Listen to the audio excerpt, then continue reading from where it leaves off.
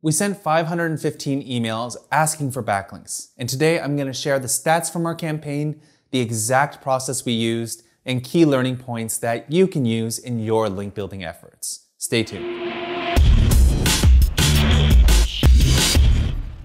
What's up everyone, Samo here with Ahrefs, and this is the second episode of our three-part series on creating linkable content and actually getting links to it.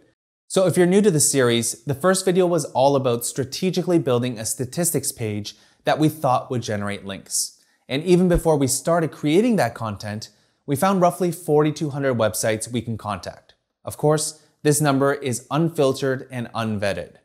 And since I showed you how we created that content in part one, now I'll show you how we built links to it here in part two. So as we were planning our experiment, we wanted to report accurate results for our link building campaign. So to isolate backlinks from our email outreach efforts, we didn't promote the posts to our existing audience. So no email subscribers, customers, or social followers.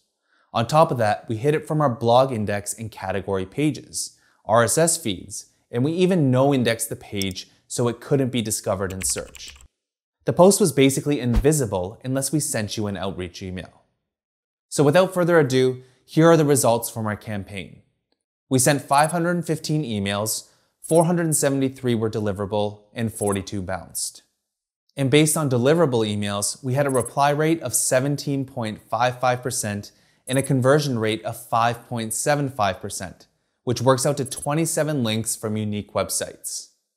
But two other cool things happened. Number one, we got an additional five referring domains from sites we didn't reach out to. And the most probable reason is that some people were discovering our page from those that linked to us and from the odd social shares. In total, we had around 19 shares on Facebook and two on Twitter, none that we started. So that brings our referring domains count to 32, or a 6.8% conversion rate. And number two, some of the sites we reached out to linked to us more than once, both from new and old posts. So in total, we had 36 editorial links from unique posts. But let's use our first conversion rate of 5.75% on referring domains as I think it's a better reflection of our results. Finally, I want to give you an idea of the quality of links we picked up. All of the links we built were editorial links on contextually relevant pages. Now, as for metrics, let's simplify it and talk about just two.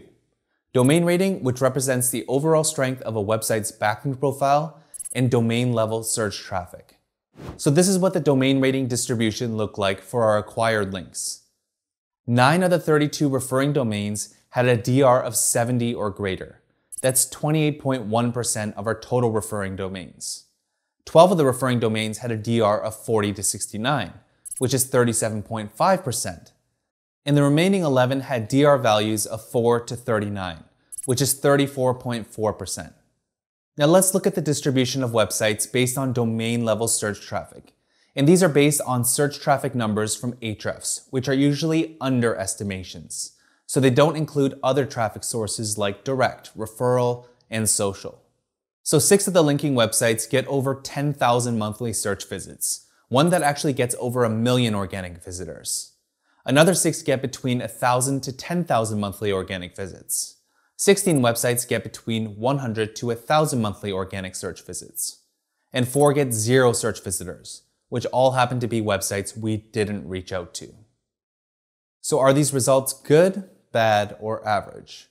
Well, to answer that, you need to understand the full scope of the process. Things we intentionally didn't do, like automated follow-ups, and things we weren't willing to do, like link exchanges.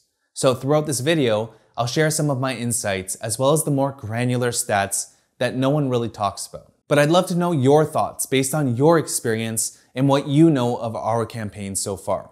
Do you think the results were good, bad, or average? Let me know in the comments. Also, I will warn you that if you're new to link building, some of the concepts and thought processes are a bit more advanced than our other link building tutorials. So feel free to ask any questions in the comments and we'd be happy to answer let's dig into how we executed this campaign. So the first step was to get a list of linked prospects. And we started by looking at the top ranking pages for the Query SEO statistics that had lots of backlinks. So when we were prospecting, we saw that these three pages cumulatively have over 4,200 referring domains pointing at them. and we found another page that had around 980 referring domains. So we opened all four of their backlink profiles in Ahrefs Site Explorer and set the one link per domain filter, since we don't want to pitch the same site multiple times. The next thing we did was look for reasons why people were linking to these stats pages. So looking at one of the backlink profiles, you'll see that the majority of links are happening because people are referencing a specific stat. Pretty obvious considering the topic of the page. But which stats are being mentioned the most? Let's head over to the Anchors report to get a summarized view. As you can see, there are tons of links that can be attributed to this 93% stat. So we continued looking through this report and jotted down around 5 to 10 popular stats based on the link anchors. So with this information, we needed to check off two checkboxes. Number one, are there enough people linking because of these stats? If yes, then that could make a link building campaign worth the effort. And number two, can we justify a good reason for them to link to us instead of or in addition to the current link? So we went back to the backlinks report and searched for mentions of the stat in the anchor and surrounding text of the link. And as you can see, there are well over 700 links from unique websites where they're mentioning the stat 93%. So that ticks off checkbox number one.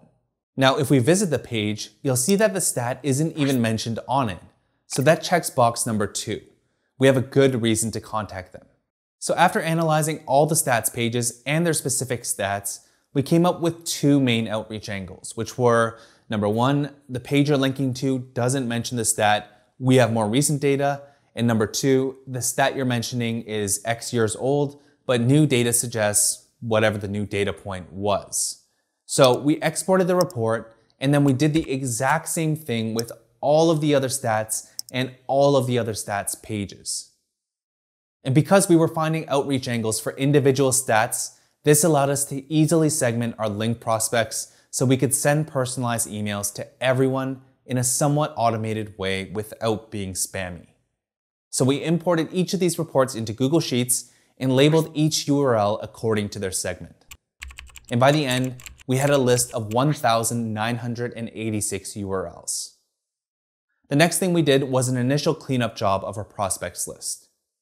So first, I deduplicated URLs from the same domain since websites could potentially be linking to more than one of the stats pages. This was easy to do using Google Sheets. I just parsed the root domain from each URL, clicked on data, and then remove duplicates. Finally, I set it to analyze just our root domain column and then hit remove duplicates. The final thing I did here was to remove prospects based on link attributes in the page's SEO metrics. From our list of deduplicated prospects, I further narrowed them down to just followed links and websites that got at least a certain amount of organic traffic across their entire domain and I pulled domain level traffic using Ahrefs API with Google Sheets script editor. Alternatively, you can use Ahrefs batch analysis tool. Just paste in up to 200 domains and set the target mode to domain with all its subdomains. You can then export the file and run a VLOOKUP against the root domains.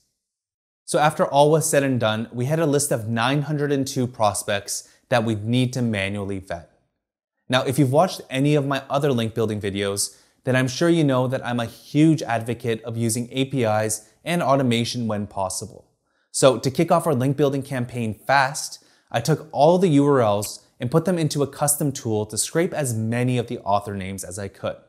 And in total, I got 741 scraped author names, but it was far from perfect. But I still took all of those names and ran them through Hunter's API to search for an email address. In total, Hunter sent back 452 email addresses. And with email addresses that were found, I simultaneously ran them using NeverBounce's API, which would tell us if the email addresses were deliverable. So after around 20 to 30 minutes of automation, we had a total of 168 valid emails, 92 catch-alls that needed some manual intervention, and 178 emails that were not deliverable. So these would need to be searched for manually.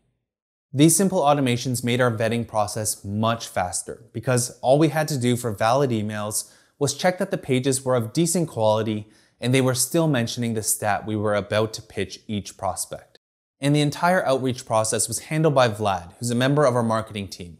He basically took a few hours each week to vet pages, find emails, and send them. Now, to simplify the vetting process, I set a list of criteria for people we should and should not contact. Vlad would then set a specific status based on the page and domain so we could keep track of our campaign stats. So based on this list of statuses, we disqualified spammy pages, those in another language since we wouldn't be able to send effective outreach emails, ones where we couldn't find an email, and URLs where we had existing relationships. And for all pages that matched our set criteria, we'd mark them as good.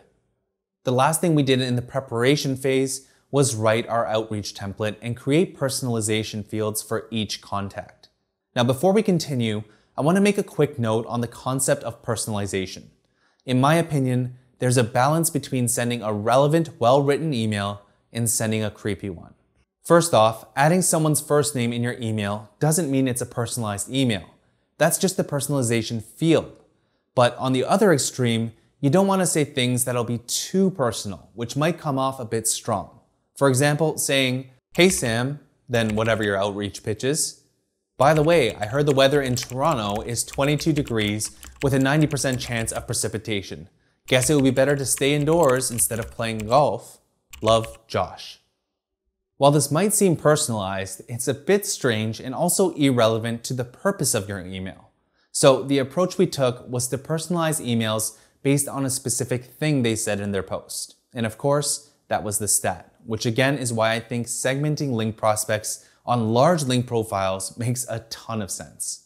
So here's what our exact email template looked like in Pitchbox. And since it's basically a bunch of merge fields, I'll fill them in as I read you a sample. Hi Sam, I saw you mentioned how 93% of online experiences begin with a search engine on your page about e-commerce SEO.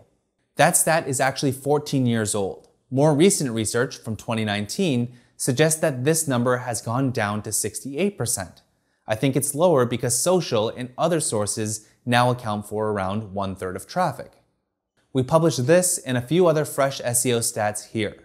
Not sure if you're actively editing posts, but might be worth an update if you are.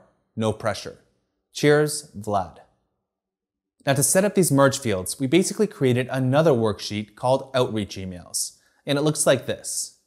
And then within our export sheet, we basically just did VLOOKUPs based on the segment the contact falls in, which would then automatically populate our merge fields.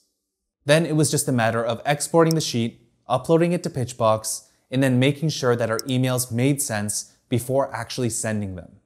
Now, if you don't use Pitchbox, you can do the same thing in pretty much any other outreach tool. And that's pretty much it in terms of the entire process for setting up our link building campaign. Now let's revisit that thought again about whether our results were good, bad, or average. And there isn't a straight answer because your mileage will vary based on way too many factors. But for simplicity's sake, let's compare our reply rates to a couple industry studies.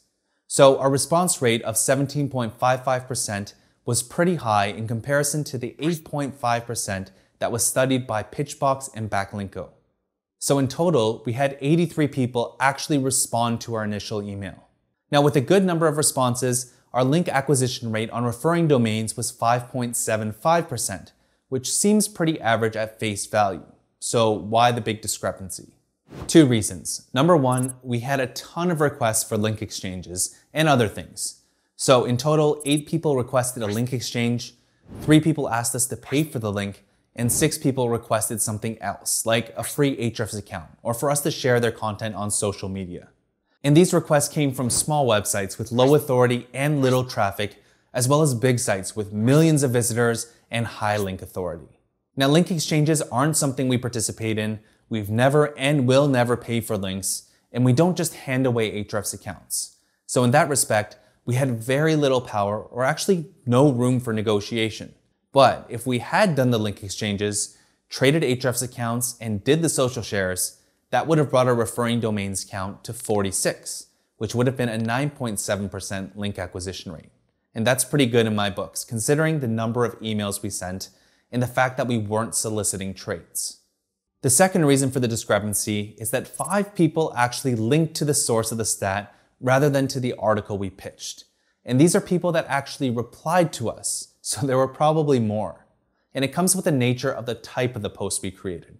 A curated list of the most recent SEO stats we could find, where obviously we'll be linking to the source on the page. And I'll expand on this in the third part of this series. Another thing to consider when evaluating the success of our campaign is the quality of the links. As I've already mentioned, all of our links came from topically relevant pages and websites, and the majority of our links were from pretty good sources. Now let's talk about some key takeaways as well as our shortcomings. So based on our overall stats, I think it's telling about the current state of outreach for links. Based on my experience, the number of people looking for some kind of exchange or payment has skyrocketed. More and more people understand the value of a link, and whether it be from knowledge or personal experience, they know that some people will give them tangibles for it. So in my opinion, it's only going to get harder to get links, which will require you to go with more of a targeted approach, especially since tons of people are sending horrible spammy outreach emails. So by sending good emails, you actually have a chance to stand out from the rest of the crowd. Now there were two shortcomings from our campaign that I think contributed to a lower conversion rate. First is the age of the links. I've already told you that one of our pitch angles was that 93% stat was 14 years old and wasn't even on the stats page. So there were definitely pages in there that had aged without an update. And second, which was probably the biggest limiting factor to our link acquisition rate, is that we didn't send any automated follow-up emails. Follow-ups definitely help increase conversion rates. I've seen it in my own campaigns, and the guys at Authority Hacker shared more convincing data from their study on 600,000 outreach emails. They said that sending three follow-up emails has at least doubled their results. So why didn't we send them? Simple, we didn't want to bother people without good reason. The main reason for this campaign was for a case study, not because we need tons of links. So the only people we followed up with are those that said they would link to us but didn't make the change within two weeks, which by the way, helped us get more links. So everything is out on the table and you might be wondering if doing outreach for links is still worth the effort, considering lower than expected conversion rates. Of course it is. These stats are from just one campaign, and our results can't be generalized to all outreach emails. Yes, you might find people wanting something in return these days, but it's still possible to build good links without paying or trading for them. So to conclude part two, if you plan on doing outreach, I strongly recommend going with more of a segmented approach and to stay away from sending 10,000 identical emails to every person. The additional effort can go a long way. Now, outreach for links isn't the only way to build links to your page. You can actually build them passively using PPC advertising. Or at least that was my theory. So in the final part of this series, I'm going to show you advertising campaigns that we ran to two different types of stats pages and links that came as a result of our PPC advertising campaigns. This video will drop a week from this video's publishing date, so make sure to subscribe to our channel so you don't miss out on that. Also, let me know your thoughts on our results, your results, or the state of link building in general. And if you enjoyed this video, make sure to hit the thumbs up button and share this video with others who can benefit from it. I'll see you in the final part of this case study.